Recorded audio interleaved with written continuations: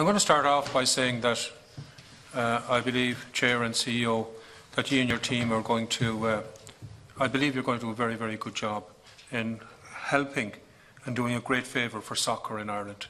Um, I just want to say that.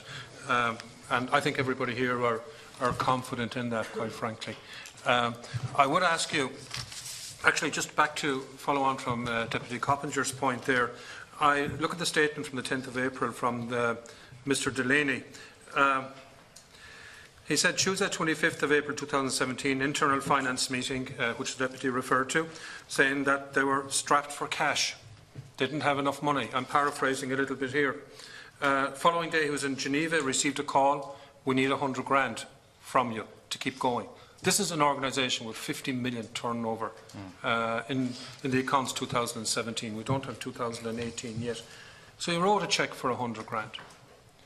The board weren't informed until after Mr Tighe, and fair play to him, contacting uh, uh, the FAI in relation to the matter. Then the board were informed about it, and actually that's what they mentioned the last day. I have the question, what happened if Mr Delaney didn't have the money?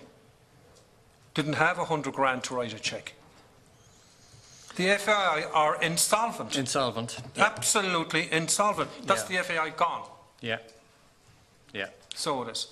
And quite frankly, ye have not been told or informed as per the agreement in relation to what the situation is. Yeah. You're there with your hands tied behind your back. It's an incredible situation. 50 million, give us a 100 grand there, ah, yeah, no bother. And uh, it's going to keep you going. They're insolvent.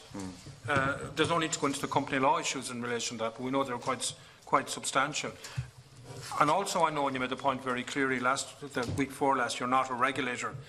But in relation to that, and I don't think, in my view, I don't think you should be a regulator. It's not your role. And also, uh, UEFA and FIFA, I think, will have a huge issue uh, with that because they regulate soccer worldwide, Yeah. and that could be a serious conflict. So you've got you have a narrow enough remit within which you can operate. But I believe you can, and I believe the commitment is there actually to go and make it happen. I go back to, to I think it's really important to reflect on what have we, what have you learned from this? What did you do right? What could you have done better? And I'm saying this in total positiveness to say, okay, because there's the past, we cannot dwell on the past, we learn from the past.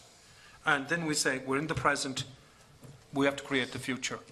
And I'm really concerned about the vacuum.